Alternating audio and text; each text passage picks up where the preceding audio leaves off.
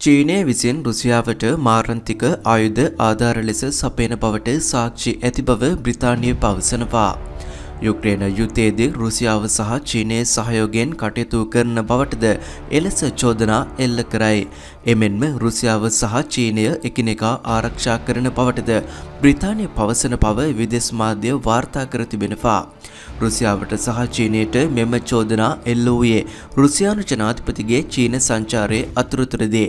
මේ අතර රුසියාවට චීනය යෙදුම් ලබාදීම පිළිබඳවද ඇමරිකාව සිය කනස්සල්ල පළ කර තිබෙනවා. බයිඩන් පරිපාලනය ඒ සම්බන්ධයෙන් කටයුතු කිරීමට පියවර ගෙන ඇති බවද තොරතුරු වාර්තාවේ.